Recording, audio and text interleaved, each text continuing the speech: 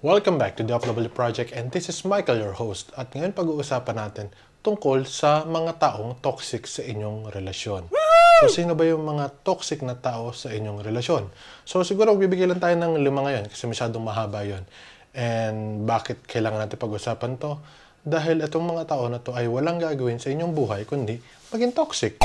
Siyempre, kung meron kayong karelasyon at kung gusto niyo yung relasyon na yon, itong mga taong to ang magiging um, sagabal or magiging hadlang para mas maging masaya yung relasyon ninyo. Imbis na kayong mag-asawa nag-aaway, iba pa yung nagiging cause ng away ninyo dahil itong mga taong to ay toxic. So, tunghayan natin.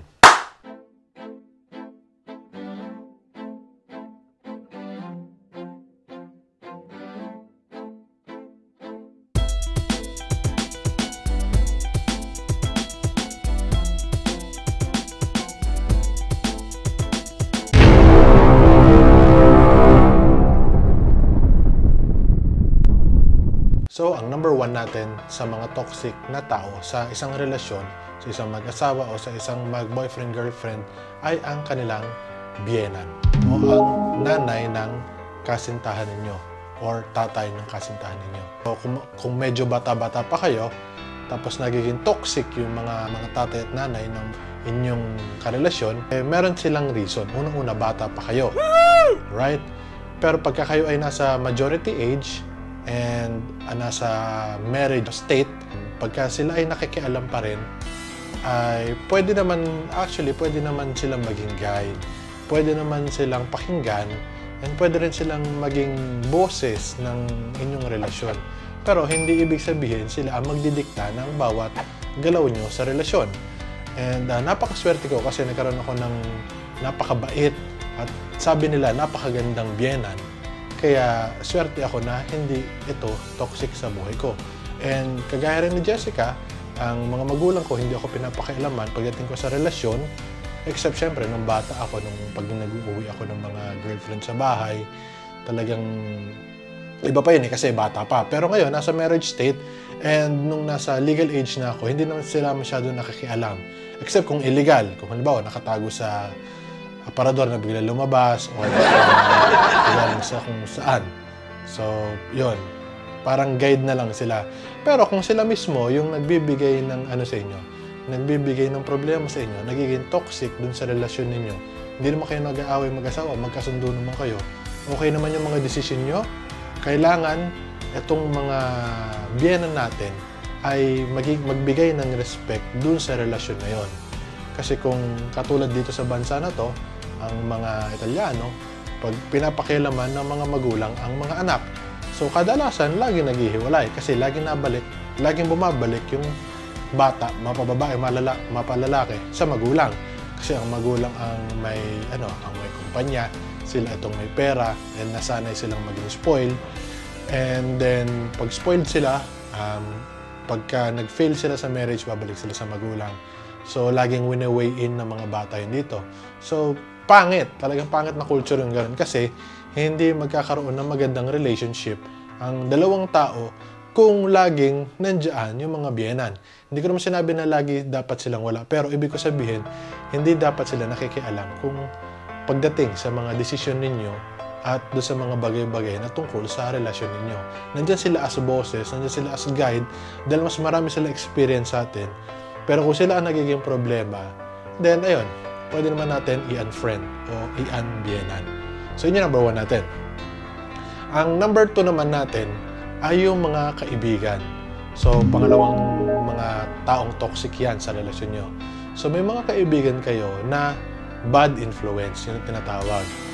And pagka bad influence yung kaibigan ninyo, nandyan pa rin yung kung sino yung asawa nyo dati or kung sino yung boyfriend, girlfriend nyo dati, dadalhin pa rin doon sa maling bagay na pinagdaanan na. Halimbawa, hmm, tinuruan nila mag-drugs.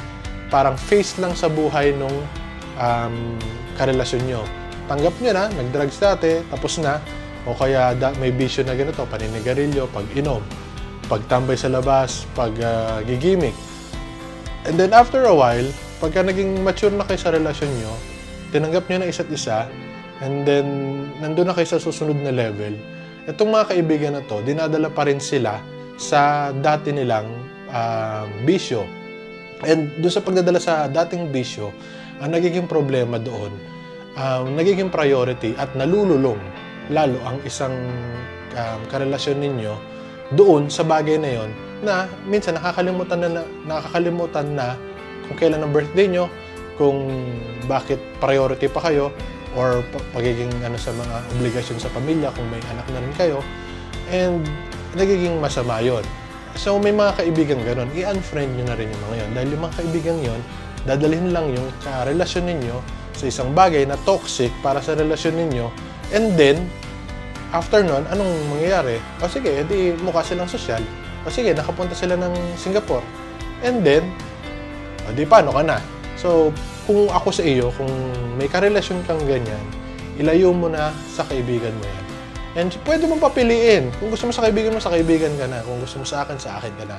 Ganun lang yan. Kasi pagka ang priority pa nila yung pamamasyal na ganyan, yung mga pagsikat sa TikTok at saka sa FB, wala mangyayari dahil yun ang priority nila. And then, nawawala na yung pinaka-love ng relationship ninyo. Kasi lagi kang last resort, lagi kang, lagi kang second option, and hindi niya na nakukuha yung, nabibigay yung obligasyon na kailangan mo matanggap. So, yung kaibigan niya or mga kaibigan ang nagiging toxic sa inyong relasyon. So, yun yung number 2 natin. ang number 3 naman natin ay paano kung yung karelasyon nyo mismo ang toxic. So, ano nangyayari?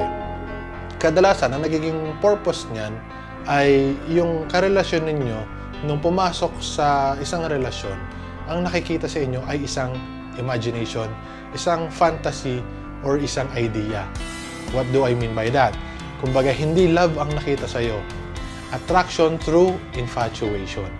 Ibig sabihin nun, parang high school love, parang puppy love, kung ano man ang tawag ninyo sa ganun, kung fling, kung ano man ang tawag niyo sa ganun. And kung kayo ay ganun lamang, nakikita kayo ng karelasyon ninyo as isang sikat na tao o isang taong may sasakyan o isang taong may bahay or isang taong may career or isang taong adventurous or impulsive mag-decide.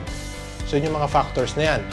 And yung idea na yon na kung ako man, liligawan ko si ganito para magisikat din ako. Ganun ginagawa ng mga artista na mga bago, di ba? Nagkakaroon ng karelasyon na veterano na para umangat yung status nila, para maging kilala sila.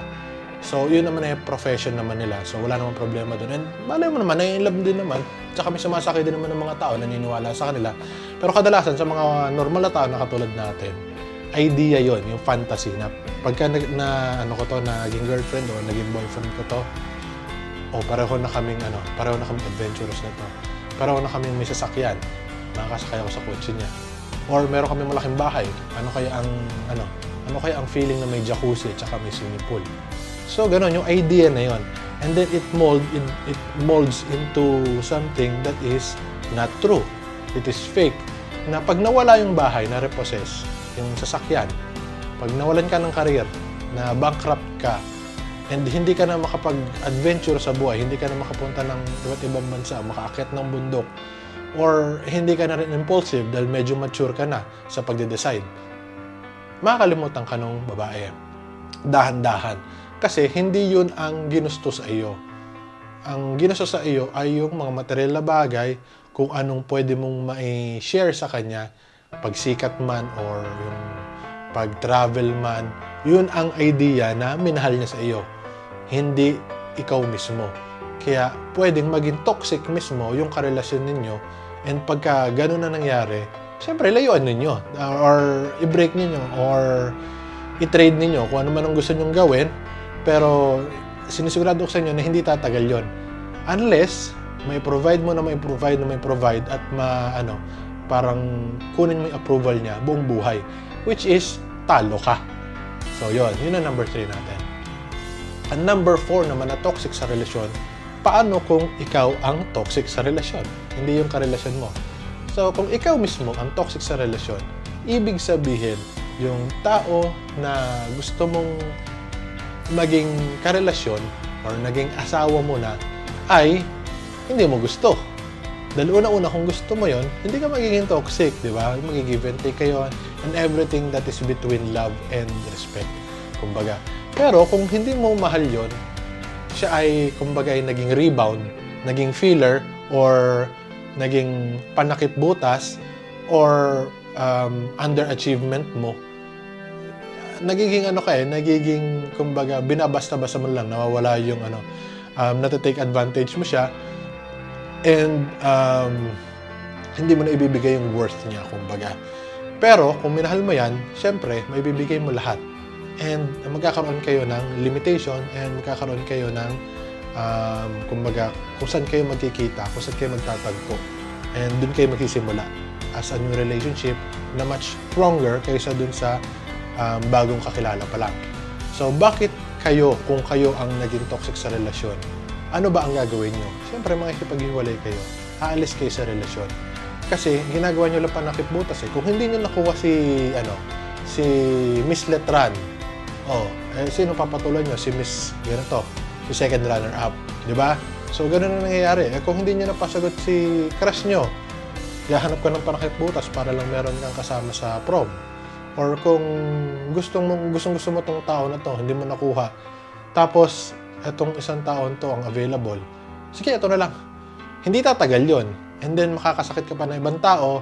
And then, pagdating sa dulo, ikaw rin ang lugi. Kasi sino ba niloko mo? Hindi mo lang niloko yung tao, niloko mo pa yung sarili mo. You Dahil lose. pumatol ka sa hindi mo masyadong gusto. You hindi napilitan lose. ka, fino-force mo yung relationship para lang mag-workout ito.